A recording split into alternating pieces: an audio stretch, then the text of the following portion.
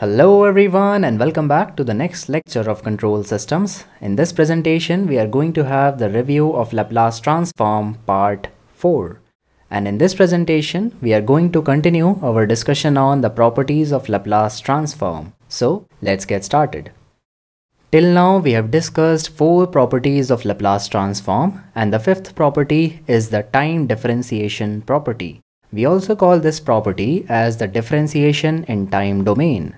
As the name suggests, we will now differentiate the function in the time domain and will check for its Laplace transform.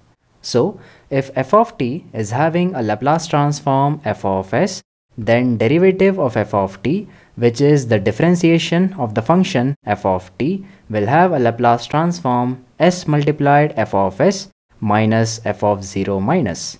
In this case, f of s is the Laplace transform of f of t and f of 0 minus is the value of the function f of t when t is equal to 0 minus. We call this value as the initial value or the initial condition of the function f of t.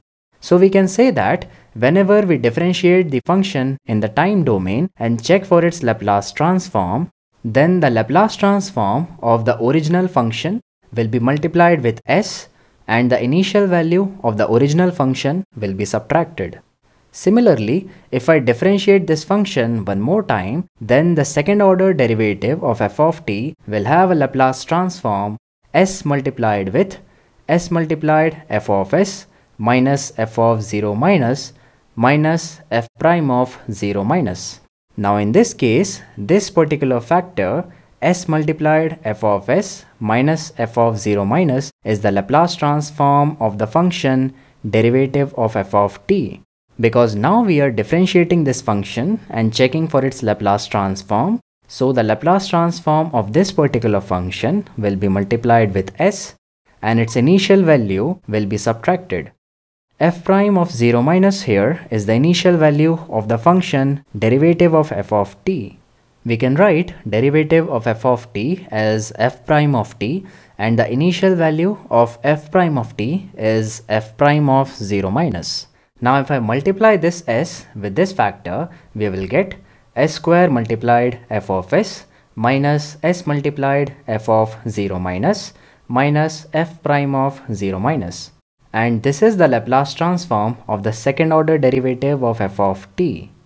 So we can say that whenever we differentiate a function in the time domain, then by time differentiation property, its Laplace transform will be multiplied with s and its initial value will be subtracted.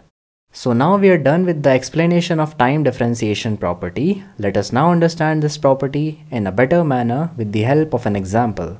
And the example is given as, given the following differential equation, Find the Laplace transform of y of t if all the initial conditions are 0. Note that all the initial conditions are 0. The differential equation is given as d square y of t over dt square plus 12 multiplied dy of t over dt plus 32 y of t is equal to 32 ut. Now in this case, when we apply the Laplace transform on both the sides to calculate the Laplace transform of yt, we will calculate the Laplace transform of these functions by using the time differentiation property. So moving on to the solution. If the Laplace transform of y of t is y of s, then the Laplace transform of second order derivative of y of t will be s square multiplied y of s minus s multiplied y of 0 minus minus y prime of 0 minus. Similarly, the Laplace transform of derivative of y of t will be s multiplied y of s minus y of 0 minus and it is multiplied with 12 so by homogeneity principle 12 will be multiplied in the Laplace transform also.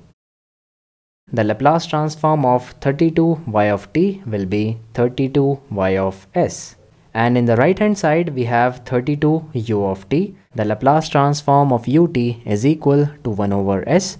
So in the right hand side we have 32 multiplied 1 over s. Now we are given in the question that all the initial conditions are 0.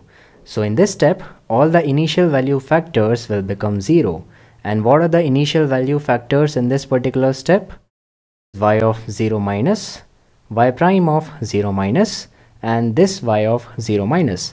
All these three factors will become 0 and we will have s square multiplied y of s plus 12 multiplied s multiplied y of s plus 32 multiplied y of s is equal to 32 multiplied 1 over s. Now in the left hand side we have y of s as common so taking y of s as common we will get y of s multiplied s square plus 12s plus 32 is equal to 32 multiplied 1 over s. Transposing this factor to the right hand side we will get y of s is equal to 32 over s multiplied s square plus 12s plus 32.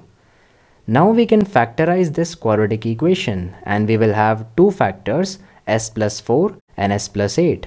So we can write y of s as equal to 32 over s multiplied s plus 4 multiplied s plus 8 and this is the Laplace transform of y of t and we have calculated this by using the time differentiation property. And see, we have converted a complicated differential equation to a simple algebraic equation by using the Laplace transform properties. So this is one of the advantages of using the Laplace transform. These questions will be more clear to you when you will do some practice and for that sake I will give you some homework problems. So now we are done with the time differentiation property and in the next lecture we will discuss the convolution property. So these are the homework questions based on the time differentiation property. Pause this video and try these questions on your own. And when you get the answer, post them in the comment section. I'll end this lecture here. See you in the next one.